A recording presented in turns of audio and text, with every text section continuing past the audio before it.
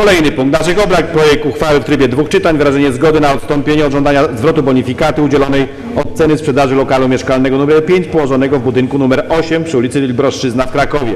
Projekt prezydenta miasta Krakowa, druk nr 1477. Pierwsze czytanie referuje pani dyrektor Marta Witkowicz.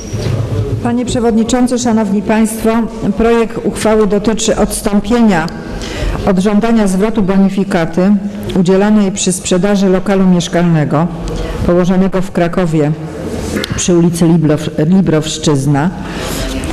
E, ten lokal został kupiony przez Państwa w 2005 roku przez małżeństwo. e, To był lokal o powierzchni 77 metrów 85 centymetrów za cenę 19 492 zł i udzielona została Państwu bonifikata wysokości 90%, czyli to jest kwota 175 429 zł. Następnie e, właściciele już wykupionego od gminy lokalu darowali ten lokal w 2006 roku na rzecz córki i na rzecz jej męża.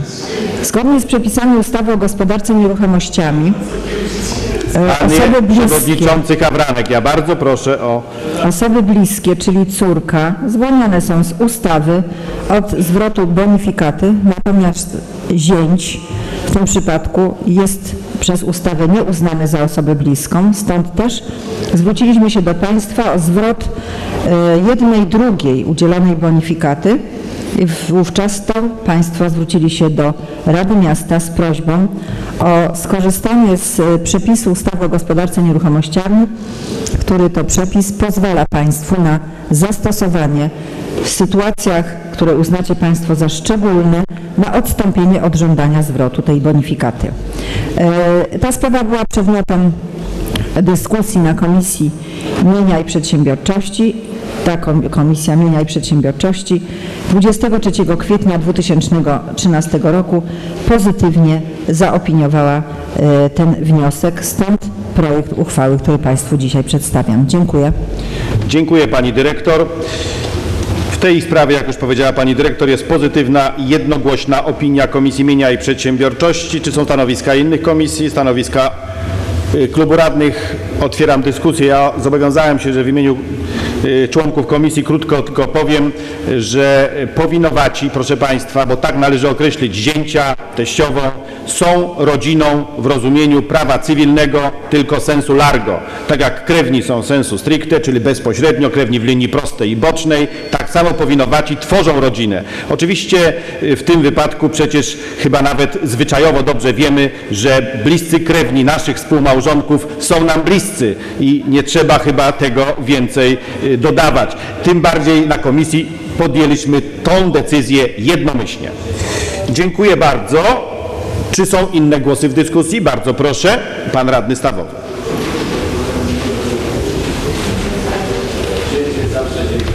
Teściowa też. Panie Przewodniczący, ani w sensie stricte, ani w sensie largo teściowa nie będzie rodziną. To dla pana przewodniczącego być może. Dla mnie jest. również dla mojej teściowej jej zięć nie będzie rodziną. Nawet gdybyśmy się bardzo kochali, to w, sensie, w sensie prawnym nie będziemy rodziną. Ja wiem, że się nagrywa, ale chcę powiedzieć o takim przypadku, który mnie spotkał.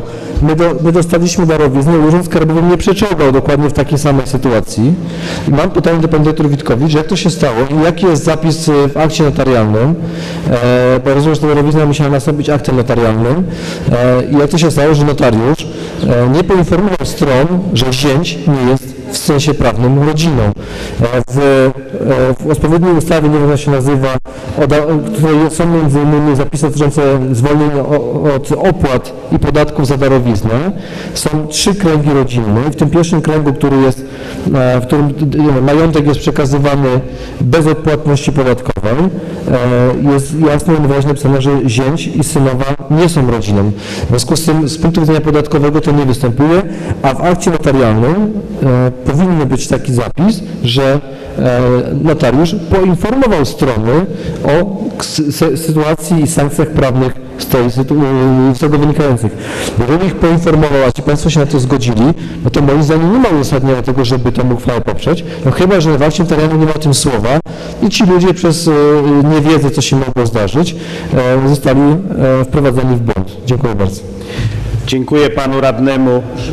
Proszę Jeśli można wrzucę tylko jedno słowo, y, ja mogę powiedzieć z doświadczeń własnych, Urząd Skarbowy bardzo precyzyjnie przestrzega tych przepisów i je sprawdza.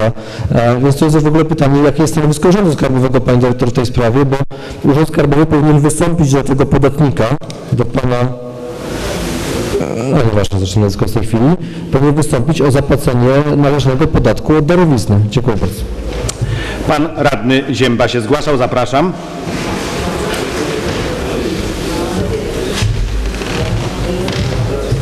Panie Przewodniczący, Szanowni Państwo, jedna kwestia, e, ponieważ e, w 2005 roku e, jeszcze e, to prawo, e, to prawo było inne. Natomiast, żeby się dużo nie rozwodzić, niech się Państwo zastanowią, czy e, Wasze żony, czy mężowie są bliską rodziną, czy nie. Dziękuję bardzo. Y, Dziękuję panu radnemu Ziębie. Ja tylko ad vocem odpowiem, że kodeks rodzinny i opiekuńczy ustanawia instytucję powinowatego. Powinowaty również tworzy rodzinę w sensie szerszym, mówię już po języku polskim i taka jest doktryna prawa. Natomiast faktycznie ustawy nasze, podatkowa, tego tak nie przewidują, ale my stosujemy również pewną praktykę życia i wzięliśmy ją pod uwagę, że jednak są to osoby bliskie, więc dlatego też taką interpretację podjęliśmy na Komisji Rodziny. Bardzo proszę, czy jest, na Komisji, przepraszam, mienia. Bardzo proszę, pan radny Hawranek.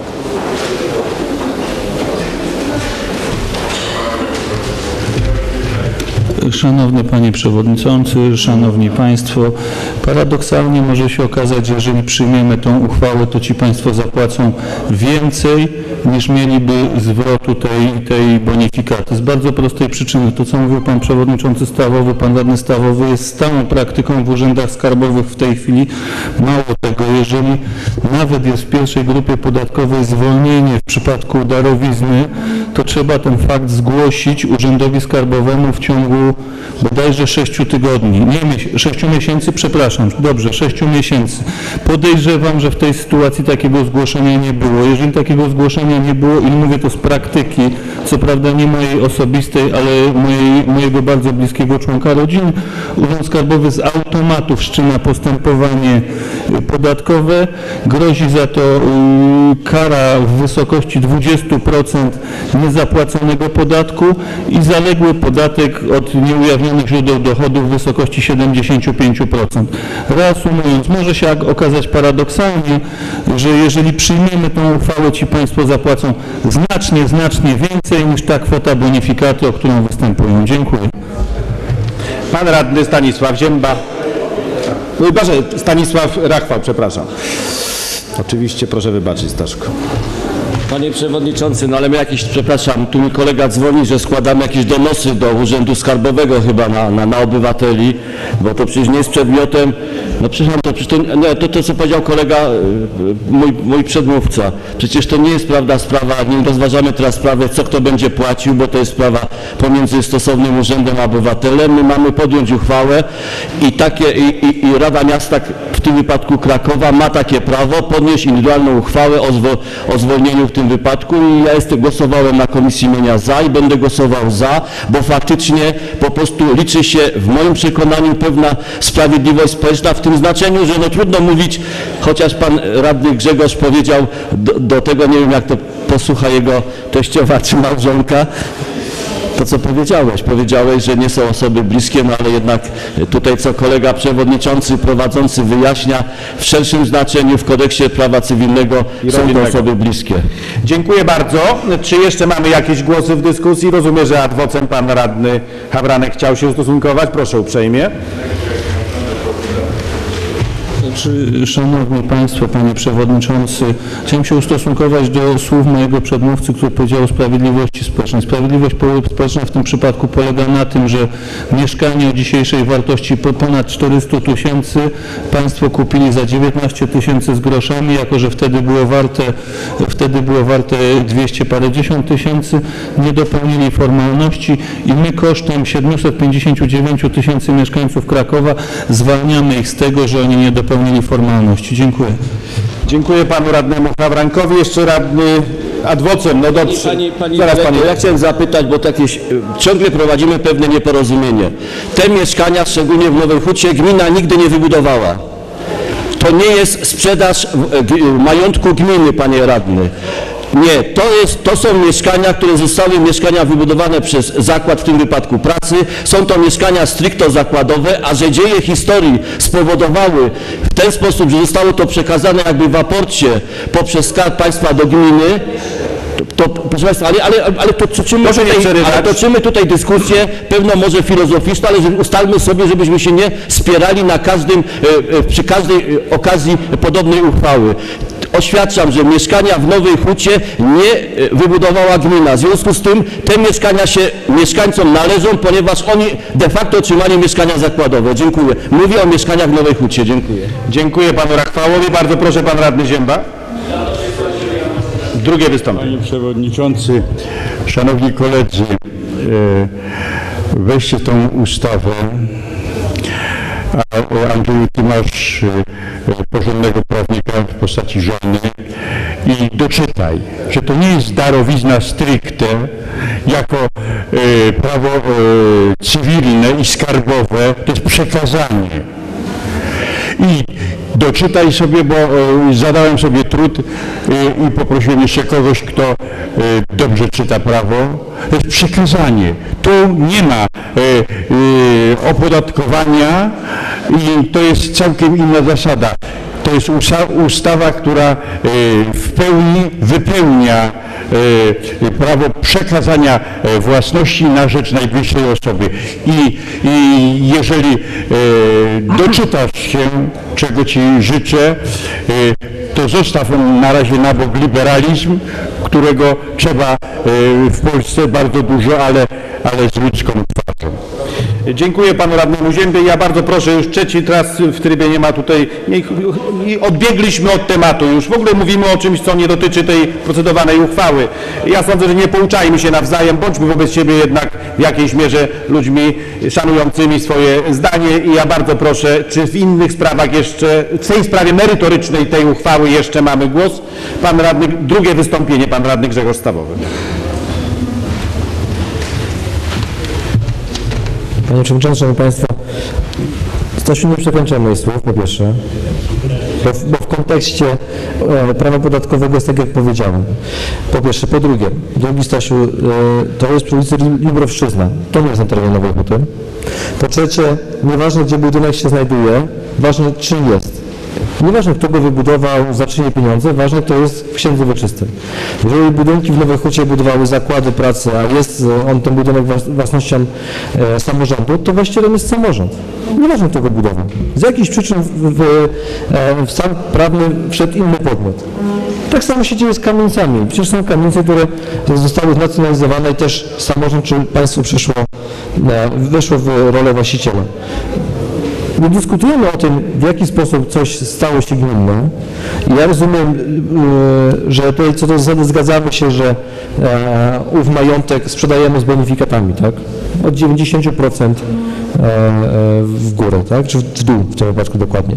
I tu jakby o tym nie dyskutujemy, dyskutujemy o czymś innym. No, Dyskutujemy o tym, czy w trakcie aktu notarialnego, który jak wynika z uzasadnienia miał miejsce w 2006 roku, e, w grudniu 2006 roku, mm, e, ci ludzie zostali poinformowani przez notariusza, że w prawie podatkowym zięć nie jest osobą, której przysługuje e, darowizna, tak? Nieodpłatna. Jeśli zostali poinformowani, to oni się powinni wycofać, po prostu. Jeśli się nie wycofali, no to, no to ale Stasiu, no jest akt notarialny, tak? Nie ma przekazania nieruchomości takiego czegoś w prawie. Nie ma takiego Ja bardzo proszę, abyście panowie nie dyskutowali. sprzedaży, użyczenia, najmu. Więc oni dostali darowiznę od, od rodziców tej kobiety. W związku z tym powinni być poinformowani przez notariusza, że jest taki problem i powinno być, by- powinna być adnotacja Urzędu Skarbowego, tak? bo, bo takie jest prawo w Polsce. W związku z tym ja mam, podtrzymuję te dwa moje pytania do Pani Dyrektor. Czy my wiemy, czy w tym akcie notarialnym notariusz poinformował strony, to może ich nie poinformował. I to jest wina notariusza, tak, że jest całe zamieszanie. E, to jest zapisane w akcie notarialnym. Po drugie, czy wiemy coś na temat postępowania skarbowego w tej sprawie, bo, bo, bo może jest tak, że była zmiana ustawy, może jest w ogóle na starej ustawie jeszcze zrobione. W ogóle też nie ma problemu, dyskusja jest bezprzedmiotowa. Dziękuję bardzo. Dziękuję panu radnemu. Czy pani dyrektor będzie łaskawa się ustosunkować do danych pytań, ewentualnie wypowiedzieć się w tej kwestii jeszcze? Proszę uprzejmie. Aha, jeszcze mam, no ale trzeci głos już niestety w statucie nie przewidujemy, także był dwukrotnie pan za- zabierał głos. Pan radny Jerzy Sonik, bardzo proszę. Panowie sobie wyjaśnią w dyskusji na, w kuluarach wątpliwości. Proszę Państwa, Szanowni Państwo, ponieważ e, rzeczywiście, tak jak mówi Staszek e, Rachwał, powtarzamy ciągle w tym wypadku ciągle te same argumenty. Może skończmy z tym każdy przyjął do wiadomości. Ja już też po raz któryś w takim razie powtórzę. Ja kupiłem mieszkanie gminne kiedyś wykupione przez inną osobę, musiałem zapłacić w wolnym rynku. Ale nie mam nic przeciwko temu i można było sądzić, że będę przeciwny takim wykupom, bo sam zapłaciłem kwotę normalną. Ale nie jestem psem ogrodnika i uważam, że e, ludzie, którzy mieszkali czy w starym budownictwie, czy w tym e, budownictwie, e, znaczy w budynkach wybudowanych przez zakłady, e, mają prawo i powinni mieć, e, wykupić to e, za 10%. E, Ja mieszkałem przez 27 lat na 27 metrach kwadratowych. Gdybym do tej pory tam mieszkał, to uważałbym, że nawet 10% nie powinienem zapłacić za, ten, za to e, mieszkanie, bo ono przez 27 lat musiało być przeze mnie utrzymywane, remontowane i w ogóle slumsy. Niektórzy kupują po prostu jeszcze slumsy, bo widziałem takie e, mieszkania. Także nie robimy tu wielkiej łaski, a to, że ktoś akurat mieszka, to jest przypadek, tak samo jeden jest zdrowy całe życie, drugi choruje i co ma być pretensje do zdrowego, że, że ten jest zdrowy, a ten chory po prostu mieszka gdzie indziej, życie mu się inaczej potoczyło i nie ma możliwości wykupienia za 10% i to, i to jest jasne. Także błędy na pewno tu notariusza, to co mówi e, Grzegorz, bo ja sam przerabiałem kiedyś błąd notariusza właśnie, że nie, nie wskazał pewnych rzeczy, które powinien wskazać. Z pewnością chyba by byli to nienormalni ludzie, gdyby się dowiedzieli, że mają zapłacić e, za to i by podpisywali takie coś. No to jest dla mnie logiczne. Dziękuję. Dziękuję panu radnemu Sonikowi. Rozumiem, że wyczerpaliśmy dyskusję w sensie radnych. Bardzo proszę panią dyrektor Witkowicz o ewentualne ustosunkowanie się zadanych pytań. Szanowni Państwo, więc tak, odpowiadając na pytanie Pana Radnego, chcę powiedzieć, że w piśmie, które zostało skierowane do Państwa, do Rady Miasta Krakowa 6 lutego 2013 roku, osoby opisują całą sytuację i y, oczywiście również ten, podnoszą ten wątek, o którym Pan y, Przewodniczący Stawowy tutaj mówi, mianowicie, cytuję, Doszło do sporządzenia aktu notarialnego, bo to jest oczywiście odrębny akt notarialny, który jest poza urzędem, prawda? To my na to nie mamy żadnego wpływu, jak sobie strony zawierają jakie akty i u kogo i u jakiego notariusza. My pilnujemy swojego aktu notarialnego i też trzeba powiedzieć uczciwie, że w tym akcie notarialnym jest napisane, że jeżeli ktoś będzie sprzedawał nieruchomość przed upływem lat pięciu, czy też będzie ją darował, czy będzie ją zamieniał, to będzie na nim ciążył obowiązek zwrotu bonifikaty przewidzianej w ustawie. To jest zapisane w każdym naszym akcie notarialnym, więc osoby mają taką świadomość. Niemniej jednak e, wiemy, jaka jest dzisiaj znajomość prawa w naszym społeczeństwie. Wprawdzie jest taka zasada, która się tak ładnie nazywa ignorancja juris nocet, jeżeli nieznajomość prawa szkodzi. Niemniej jednak są tutaj pewne okoliczności łagodzące, ponieważ jak Pani pisze, doszło do sp- sporządzenia aktu notarialnego. Nikt nas nie informował, że darowane przez nas mieszkanie nie wyjdzie w skład wspólnego majątku obdarowanych małżonków, a nadto, że rodzić może powinność zwrotu bonifikaty. W akcie tym ustanowiona została dla nas, czyli dla tych rodziców, którzy do, dokonywali tej darowizny, prawo do żywotnego mieszkania w tym lokalu i opieki ze strony obdarowanych. Czyli był to, y, była to darowizna z ustanowieniem dożywocia.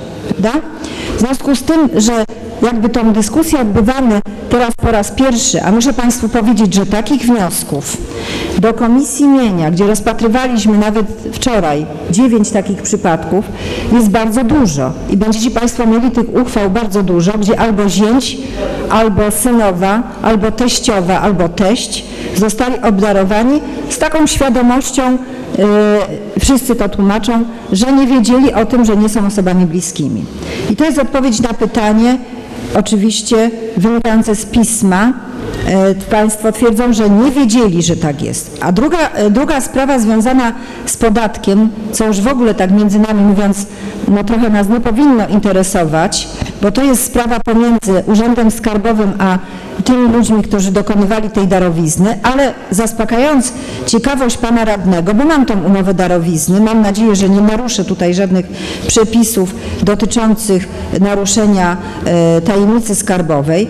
Państwo byli zwolnieni z e, podatku od darowizny, bo wówczas obowiązywały takie przepisy, że jak ktoś będzie przez okres pięciu lat zameldowany w mieszkaniu, to sko- korzysta z takiej możliwości. Dziękuję. Dziękuję bardzo. Yy, Mam nadzieję, że to wyczerpująca odpowiedź Pani Dyrektor rozwiała pewne wątpliwości, Yy, a sądzę, że ta dyskusja na pewno też była dla nas pouczająca. Stwierdzam, że zamykam dyskusję, stwierdzam, że Rada odbyła pierwsze czytanie projektu i zgodnie z paragrafem 36 ustęp 6 Statutu Miasta Krakowa określam termin podania autopoprawek na dzień 29 października godzina 15 i ostateczny termin zgłoszenia poprawek na dzień 31 października godzina 15. даст.